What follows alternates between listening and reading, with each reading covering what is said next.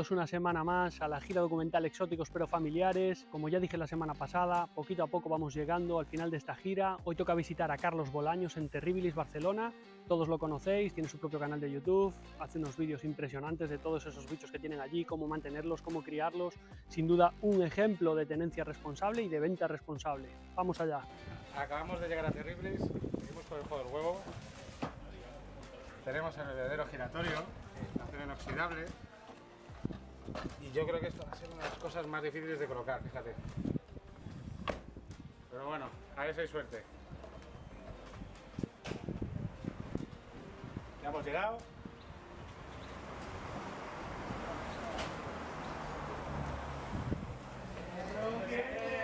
¿Cómo estás? Bueno, ya hemos llegado, hacemos la entrevista, pero antes os tengo que contar una cosa. ¿Qué traes ahí un bazooka o qué es Esto, bueno, os explico. Estamos haciendo el juego del huevo. Hemos pasado por la gama, hemos pasado por por Kanaki, de Kanaki Sefiriati y empezamos con un huevo. Sí. Y la cosa es, con este objeto le tienes que dar otro que sea del mismo valor o superior. Fijaros, de un huevo, pasando por estas tres cuatro tiendas, eh, esto fue en Ferroavion, un bebedero giratorio de acero inoxidable para exteriores, interiores, o sea, es brutal. Y tiene- en. esa, esa es la coña. Espérate Ya, que ya hemos subido el nivel. Eh, esto ya son 50, 52 euros PVP. ¿eh? Entonces, bueno, si queréis entrar en el juego, es un objeto que tengáis del Sí, mismo valor o superior. Y esto, pues bueno, irá un sorteo luego al final de. Claro, hombre, toma, vamos. A ver, podríamos pillarle. Ya por fin con el gran Charlie. Eh, un placer estar aquí, tío. Siempre. Sí, el placer es Máquina. nuestro. Cada vez que veo me acuerdo de la manifestación. ¡Ole vosotros! ¡Ole vosotros! Mundial. Sí, sí, grito Leónidas. Buah. Grito Leónidas. Maravilloso, tío. Pues nada, venimos eh, un poco a que nos contéis qué es Terriblis, eh, vuestras, exper- vuestras experiencias aquí, qué es lo que hacéis. Bueno, Terribilis es una familia, tío. Esto lo contaba Javier y se lo, no sé, me parece que te lo estaba diciendo a ti antes. Y dice, no, es que hay tiendas, pero es que Terribilis es una familia, porque Terribilis no nace como quiero montarme un negocio, no, no, no nace así. Josep, que ahora no puede, que está, en- está atendiendo a la gente, eh, la tocaba él.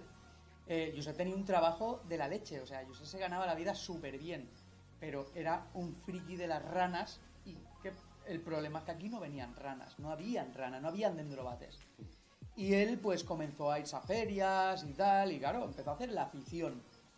Eh, ¿Qué pasaba? Que, que, claro, él tenía sus ranitas ahí en sus terrarios y la gente decía, pero tío, yo quiero esto, ¿no? Y Josep pues cogía y decía, bueno, va, pues te traeré. Iba trayendo tal, ahí conoció a Jordi también, que era el, fundador también de Terribilis, y, que ya no está, pero empezaron a traer ranitas para sus amigos, ¿sabes? Para sus amigos, y ahí comenzó todo, ¿no? Porque, claro, al final decían, tío, si es que todo el mundo me encarga ranas, ¿no? Y vamos a montar algo, ¿no? Vamos a montar algo con su, cada uno con su trabajo y tal, y, y ahí salió Terribilis, ¿no? Salió Terribilis de ahí. Y cuando ya vieron que dijeron, hostia, tío, oye, ¿a ti te gusta tu trabajo? Eh, pues, hombre, pues me molaría más trabajar de esto. Al final se metieron con Terribilis, ¿vale? Eh, se pillaron el local y yo lo conozco a Josep desde los 14 años, tengo 37, que no lo parezca, y, y me dijeron, oye, necesito a un, necesito a un ranero que tenga ganas de trabajar y tal, y bueno, y empecé aquí con ellos, tío, empezamos aquí desde cero, a picar piedra, a picar piedra, a, a enseñar lo que era el ser ranero, tío. El ser ranero. Entonces se formó ahí una comunidad súper guapa de gente que le molaba la rana, que ahí no habían... Ahí había solo un, un foro que era reptilista y luego salió fauna exótica. Ahí hemos bebido todos, todos los bicheros de, de- de hace tiempo. O sea, que lleváis tiempo. ¿Cuánto tiempo Hombre, lleváis? la tienda abierta lleva 20 años. Qué barbaridad. Lleva tío. 20 años abierta, tío. Y lo que es terrible lleva más. Y Josep lleva más. Y es que mm, o sea, llevamos un montón. Somos los que más mm, expoterrarías llevamos. O sea, ¿Qué? nosotros, nosotros comenzamos. O sea, mm, la, con las primeras expoterrarias. Ostras, qué barbaridad, tío. Sí, o sea, o sea, Zoila de los, vamos, de los primeros, a- hasta ahora los que más he conocido, también por cercanía. Eh, eh, los de Arquito, que también son... Dani y Javi, son unos cracks. Que son unas máquinas también. Eh, bueno, Zopinto. También eh, llevan. también llevan. Zopinto, Zopinto también tiene callo. Y vosotros, a vosotros os conocí ya desde que empecé en. Yo creo que en 2012 no os conocía todavía. Fue más esta última, digamos, último bloque que ha sido a partir de 2017-2018. Y, y en las ferias de. A vosotros os conocí en Madrid, en una feria de Madrid, y luego ya se empecé a ver más en, en Barcelona, claro. Claro, sí, sí. Ah, qué pasada, tío. Y de todo el trabajo que hacéis, entiendo que es un trabajo duro. eh, es un trabajo 24-7 Es así. un día normal, más o menos, que es... Bueno, eh, ¿qué es el trabajo en Terribilis? Pues es... eh, Mucha gente se piensa que, que llegas, te pones ahí con animalitos, te pones a verlos, les das besitos. Ojalá. Pero bueno, tú- cuando llegas, pues haces todo lo que puedes, ¿no? Das de beber. Por suerte tenemos, eh, tenemos a nuestros compadres que nos ayudan, nos- que nos echan la mano en la tienda y tal. Pero mi trabajo es eh, enseñar a la gente a tener animales responsablemente. O sea, mm, que, que sea el animal que necesita, cómo cuidarlo, cómo enseñarle, ¿no? Sí, tener el espacio que requiere, el tiempo que requiere... Y eh, muchas veces reconducir la compra, porque hay gente que, que- que me viene y me, y me quiere pillar un bicho que, que digo, tío, hostia, con este cuidado. Sí, sí, o sea, que bueno. Esto es muy común en todas las tiendas tradicionales, es esa parte de asesoría, que además hacéis un primer filtro para evitar precisamente el, el tipo de compra compulsiva que puedas tener, yo qué sé, pues que compra un perro, por ejemplo, ¿no? Sí. que es más común. Aquí no, o sea, aquí hacéis un filtro, eh, frenáis y vais orientando, oye, pues por el tiempo, el espacio que tienes y el dinero que, que cuesta mantenerlo, tu opción mejor es esto. Sí, sí, es más fácil, es más- o bah, ya le conoces, eh, ya sabes que es un tío que maneja bien los bichos, pues oye, a ese sin problema, el que tú quieras, claro. Qué bueno. Y de todo el día, ¿cuál es tu parte favorita de trabajo? Cuando Bueno. cierro. Y espera, No, espera, que hay otra cosa. Eh, los acuarios, lo que es la, la limpieza, la higiene, o sea, es que es un huevo de curro lo que hay. Eso ¿eh? eh, es, lo, es, lo, es lo más, es lo más complicado. Porque al final el volumen de trabajo que tenemos ahora en Terribilis es mucho. Por suerte, es mucho. Y, y hay veces pues, que tenemos que priorizar el que coma el animal, que beba, que esté bien, a limpiarle los cristales. Hay tiendas que no. Hay tiendas que priorizan la limpieza Ujú. del cristal y tal. Nosotros, nosotros Hombre, no. Primero la alimentación, pero sí que es verdad, bueno, yo por lo menos por lo que he visto en la tienda, que mantenéis una higiene y mantenéis un tal bastante... Bueno, lo que pasa es que nuestra tienda es, es- está, en, ya lo has visto, estamos al lado del mar, Sí, son pisos eh, muy además, antiguos. además eso, que Son tenéis pisos problemas con la comunidad a Sí. veces con aguas y humedades Sí, o... sí. Ah, Son- es, ¿eh? un, es un bloque muy antiguo, eh, se, nos sale agua muchas veces, es, es- bueno, todo el que tiene, todo el que viene a Terrible ya conoce, Ya. ya. conoce la Esto es la una batalla selva, tío. diaria. Sí, sí. Y Pero con todos estos años, tío, ¿alguna algún, una anécdota divertida o algún este os ha tenido que pasar? tío, es que es cada día, tío. Aquí cada día, mira, hablando del tema este de, de- de la- de las aguas y tal, siempre decía Yuse, dice un día me caerá mierda en la cabeza. Pues el otro día pasó, tío. ¿En serio? El otro día pasó, estaban desatascando las cañerías, tío, y, y no sé por dónde salió un chorro, pero, pero de agua fecal, y le cayó en el hombro a Josep. ¡Ostras! A mí me parece genial, porque todas esas cosas cuando le pasan a Josep me, me- me parto, porque él, él es como que lo encaja, de, de- lo Qué encaja bueno. muy bien, ¿sabes? Es como que... Sacándose los trozos de vecino. ¡Ostras! ¡Ostras! Ah, Pero no, hay muy buenas, tío. De hecho, que nosotros hemos ido a ferias con un mapa. Hemos ido a ferias con un mapa y quedar ahí con unos amigos, quedar con, o sea, quedar allí en Bochum y nosotros nos fuimos a Bochum. Y, Por una letra. y- No por una letra, por una letra, claro, no se lo pones en el GPS, no, no, con un mapa. Y claro, oye, ¿dónde estáis? Estamos en la estación. Pues nos vemos, nosotros estamos en la estación. A ver, levantad la mano. Yo no veo nada. Nosotros haciendo así encima del coche, tío, hasta que al final, tío, miramos y, tío, nos hemos equivocado. Y no sé si eran 200 kilómetros. ¡Ostras! Súper tarde. Bueno, bueno, bueno, Joder. follones así. Y bueno, de encontrarte, de estar hablando con un cliente y, y- y ver cómo hace algo. ¡Pop! Eso, tío. Loco. y mira arriba hay un calitratus así de grande. Ostras. Pero que no es nuestro. Y- Eso y encima no es vuestro. Claro, porque viene la gente y a lo mejor eh, lo coge, lo suelta ahí en las plantas y, y- y- y ya está. Sí, sí. Una de las cosas que nos pasa también, claro. que, que veo que pasa mucho, que viene a la tienda, oye, este bicho está flaquito, que esto pasa en las tiendas también, yo creo que pasa en todas. Es que no viene gente que a lo mejor se le pone malito el bicho y nos lo coge y nos lo trae. Claro, ¿qué hacemos con ese animalico? Claro, tío. Bueno, es que eso es importante también. Una de las cosas que hacéis en las tiendas tradicionales es que también sois centro de acogida de animales. Y lo tenéis que sacar adelante, y os ocupáis vosotros, Claro. y eso no os lo paga nadie. O sea, No, no, no, no, no, y claro, con nuestros veterinarios, con los que trabajamos y tal, pero es que a veces esos animales, pues lo ve la gente y dice, tío, oye, que esto es como en el zoo, ¿no? Sí. Esa, esa gran mentira que hay. Es que he visto en el zoo de Barcelona, ¿no? He visto el león y eso da pena, da lástima, ese león está hecho polvo. Ya, pero es que no sabes, hermano, que un león en libertad dura 10 años, 15 años. Mucho es eso. Ese león tiene 30, es un anciano, estás viendo un anciano. Y lo están cuidando y está comiendo de la mejor carne. El elefante o el rinoceronte tiene Lo mismo. 90 años, tío. No, y aparte que son animales que han nacido en cautividad y no se les puede considerar animales salvajes. No, Eh, pero, pero, es que hay, es- está ese tema de. No es que los tienen mal, es que mira qué flaco están. Es que estás viendo un abuelo, tío. Estás viendo un abuelo. luego es eso, Y que, ojo, que hay mucha incultura y mucho desconocimiento en esto y al final... Pero eh, vamos, la fin. gente, la gente no para de soltar. Bueno, esto es lo que nos ha traído esta maldita ley, ¿vale? Que nos tenemos que cargar. Y, y bueno, a vosotros os afecta mm, como tienda una, una barbaridad. a O tope, sea, a tope. es que es, es que es alucinante. Eh, incluso beneficios que se sacan eh, a través de, de las tiendas, el comercio, la cría, como por ejemplo beneficio medioambiental. Te voy a preguntar solo por eso. O sea, hay muchos animales que gracias a nosotros eh, se han salvado de la extinción global. Y porque hay un comercio regulado y hay Claro. un comercio controlado.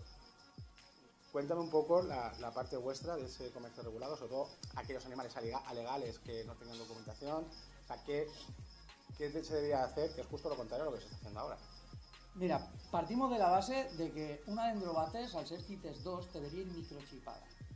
¿Cómo vas a, cómo vas a microchipar una rana que es así?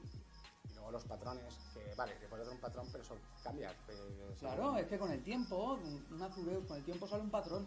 Todas, de hecho todas. Una, una Uratus, la típica ranita Uratus, esta de Costa Rica, pues una peña blanca cuando nace es casi negra. Y hasta el año, año y pico no coge el color blanco.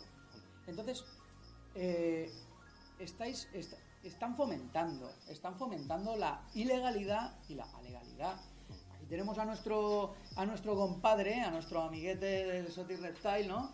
Que tío, que, que tiene los bichos. eh, eh, es que ha tenido que tirar los huevos de, de- de- de- barbaridad. es que no es que no puede reproducirlos porque no se los van a legalizar o sea prefieren que estén muertos o sea prefieren que estén muertos esos animales o que no nazcan a que nazcan de animales completamente legales vamos es que lo veo Es, es de locos. lo veo O sea, una locura, fijaros, para, locura. para la conservación, eh, eh, lo que es eso, o sea, es cargarte, eh, pues lo que estábamos comentando, o sea, la supervivencia a lo mejor de esa especie, de la extinción global y sobre todo las que están amenazadas, son precisamente las que más hay que criar y las que más hay que meter en un comercio controlado, por supuesto, Claro. regulado, pero son las que tienen que tener más movimiento. Pero tú fíjate, Van al revés. Tú fíjate que, que en una isla, como puede ser, mira, cuando entró en erupción el volcán este en, Sí, La Palma. en La Palma, tío, ahí hay unos lagartos que solo existen ahí y no se pueden comercializar. Si esos lagartos se pueden comercializar, si la gente lo tiene en sus casas y los cría, pues claro, comercializar ya se piensa que aquí la gente va así, forrándose. No, tío, eso no, no, no, no, hermano, no, no. Es que esto es, una, es un continuo derroche de dinero. Pero si esos animales los tiene la gente, hay un reducto de esa genética que siempre pueden volver al sitio. Y se puede reintroducir gracias a... Claro, claro, que, es que luego hablan de, de enfermedades y tal, sí. Y ya te digo, eh, desde el comercio, las tiendas tradicionales, eh, todos esos temas y todos esos proyectos de reintroducción, conservación o incluso base genética, banco genético por decirlo de alguna manera, mm, son cosas que estáis vosotros súper dispuestos siempre. a- Siempre, siempre. Nosotros trabajamos, siempre lo que nos digan. Es que a nosotros ahora mismo nos dicen que no va a pasar. Pero si a nosotros nos dicen, oye, tío, mira, que, que, que hay que la población, que hay muchas poblaciones en dendrobátidos que ya no existen. Sí. Existe la especie, pero no existe esa población, porque dendrobates eh, hay muchos, muchos patrones de color y hay muchos que ya no existen. Porque ha venido una excavadora y se ha llevado esa quebrada por delante y ya no existe. O sea, una de las principales causas es la deforestación. La deforestación, El- el que estén los campos de cultivo, es que la gente que, se, que dice que no, es que yo soy vegano porque tal, ya, pero es que ¿dónde te piensas que plantan las lechugas, hermano?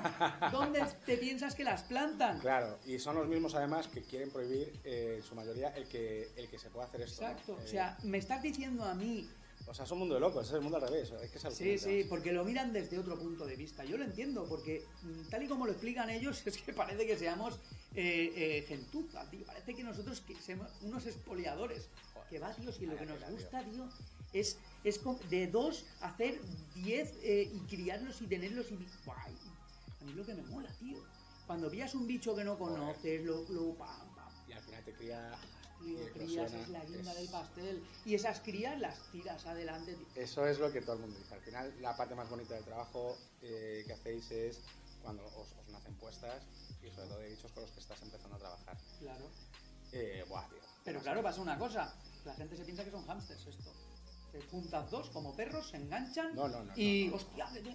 No, no, tío, O sea, esto los parámetros que tienes que aplicar, sobre todo el bienestar animal, eh, eh, son muy elevados. Es que como no lo hagas perfecto, no lo crías. Yo los alvarios estuve siete años, siete años Buah. para conseguirlo, tío. Siete años. Hice de todo, tío. Hice de todo. Eso es investigación también. O sea, Mucha investigación. eh, es- son avances, gracias a, a- a estas cosas que hacéis, avances en la, en la terrorofilia, que al final tú vas documentando y, y- y vas aportando a la sociedad. Con lo cual, ahí tenemos un beneficio también medioambiental y cultural muy fuerte. Tanto para unas cosas como para otras. Biólogos, porque una cosa es ver el animal en su estado natural y otra es hacerle tú el, el- hacerle tú eso. Porque hay cosas que pasas por alto, la alimentación, o sea, todo eso lo pasas por alto. Es mm, para todo nosotros tenemos mucho muy buen rollo con veterinarios y vienen aquí damos muestras con los de esos anfibios con Bárbara, o sea, eh, siempre que nos vienen pasamos el bastoncito, se le enviamos las muestras y ellos ahí van mirando. Y nosotros desde nuestro desde nuestro Conocimiento. también educamos a la gente. Oye, que se te muere un bicho, no lo entierres, no hagas el... Y si lo entierras, pásalo por lejía para quitarle los patógenos. Oye, eh, no cojáis bichos y los soltéis de una charca a otra, claro. Pero bueno, es que podíamos hablar mucho de, que, de culpas que nos han metido. Divulgación medioambiental también. Sí, si es que, bueno, y eso todas las tiendas, ¿eh? De, de claro. poco os hayan metido que no sois responsables vosotros, todos. Claro, pero si es que hablan de la guitridiomicosis, es que no, es que...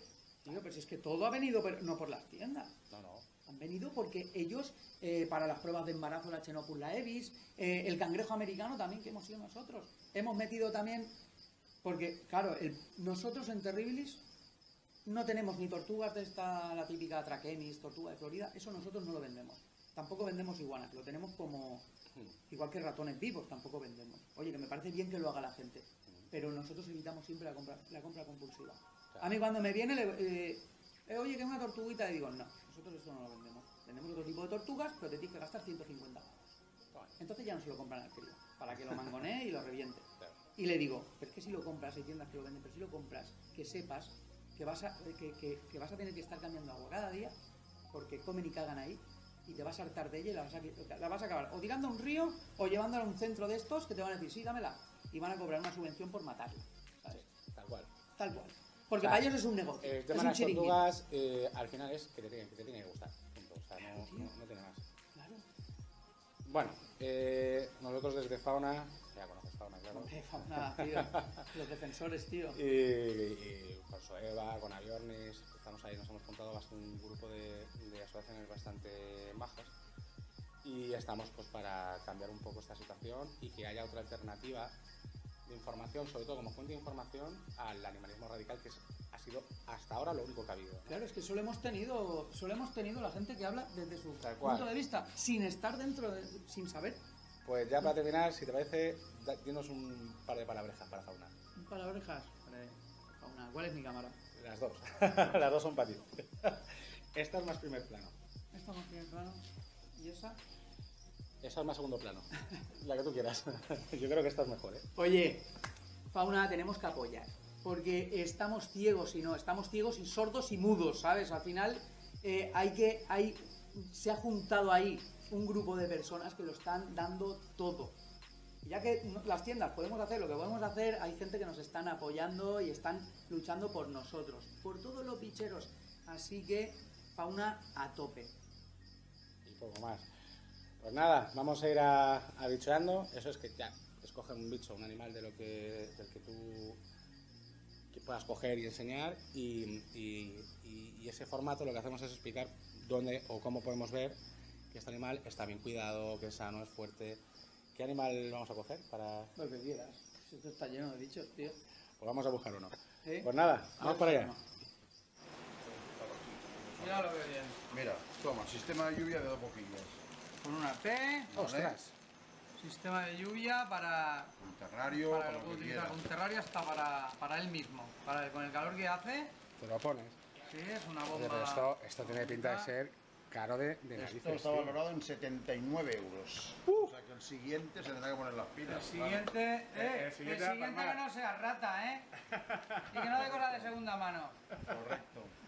Así que nada, Pues nada, ¿Será señores. el y- Xavi el siguiente o no? no sé. No lo sé, miraremos, no lo sé. miraremos de. A ver, a ver quién es el siguiente. Te quedan tiendas por ver. Queda, queda Zopinto, queda Quito, queda. Bueno, Jarquito que ponga el, el Equianus, el, el- ese amarillito que tiene. Claro, ese- ese albinito que tiene. golpe. El caso es que tiene que ser Claro, material, ¿no? material, que no sea perecedero. Claro, pues por eso Y es también te digo una cosa, eh, eh, Arquito y Zopinto, por ejemplo, especialmente ellos dos, eh, han sido uno de los grandes impulsores de esta gira documental. Eh, yo, para mí ellos son comodín, o sea, que lo mismo ni lo hago con ellos, pero hay muchas otras tiendas que sí, Pero igual que vosotros, pero bueno. A lo que nosotros estamos un poquito lejos, ¿no? Barcelona. Eh, sí, Madrid me pilla mejor. Pues nada, Pues nada, intercambio. Esto para ti y esto para nosotros. esto para ¿no? nosotros. Ya lo pondremos Toma, Carlos. ¿no? el bebedero para que Josep se suba Exacto. y beba ahí a gusto. Pues nada. Bueno, aquí en Terriberis, qué decir, lo primero, ¡ole vosotros! ¡Qué grande es Charlie! Maravilloso. Una entrevista muy dinámica y, fijaros, yo aquí destaco eh, eh, lo que ocurre con todas las tiendas, ¿no? Eh, esa preocupación por, por porque los animales acaben bien, eh, esos proyectos que además muchas tiendas están eh, en proyectos de conservación, eh, fa- favoreciendo datos a científicos, a, a- gente que trabaja más, digamos, de, campo, enseñando y divulgando. O sea, de Terribilis puedo deciros que, que son auténticos divulgadores, ellos y prácticamente todas las tiendas. Eh, como veis también, eh, eh, deciros de Terribilis que que también hacen ese filtro que es muy común en todas las tiendas, de decir, no, no, no, esto, esto no es para ti, si quieres iniciarte, empieza por este otro animal, eh, le hace un seguimiento a ver si está haciendo bien los cuidados y tal. O sea, es un trabajo de asesoría mm, bastante potente. Fijaros, 20 años, más de 20 años funcionando así. Y gracias a que hacen bien las cosas y gracias a que, a que dan esa continuidad y seguimiento de, de los animales que tienen, te- han convertido Terriblis en un club social eh, de naturaleza. Y eso es una cosa que lo estoy viendo en prácticamente todas las tiendas. Un punto de encuentro donde la gente se reúne, intercambia información. Eh, hay veces que van allí y ni compran, simplemente, oye, mira, pues tengo esto, tal, no sé qué. O sea, se, se montan unos debates bestiales. Y, y esto lo tenemos que proteger. Hay que conservar esta actividad y hay que, y hay que defender esto tan, tan bonito y que tanto esfuerzo eh, cuesta sacarlo adelante. Así que nada, mi enhorabuena a los de Terribilis. eh, esto no ha acabado. Vamos a seguir en la lucha y, recordar las firmas. Seguimos con la recogida de firmas, muy importante. Y aparte de ello, eh, muy importante también no parar la gira. Hemos conseguido, con suerte, gracias a una de, las tiendas y, otras aportaciones, eh, poder hacer Barcelona. Eh, nos quedaría Alicante, Cantabria, Rioja, Bilbao, eh, eh, Burgos y tendría que volver otra vez a Extremadura, pero bueno, Extremadura lo haría en el mismo día y tendría que volver a me gustaría ir a Albacete, que también lo haría en el día, o sea que tampoco requeriría de tanta inversión. Pero nos hace falta, hay que documentar toda España y no vale documentar la mitad, lo necesitamos, así que subiros a la caravana, exóticos pero familiares.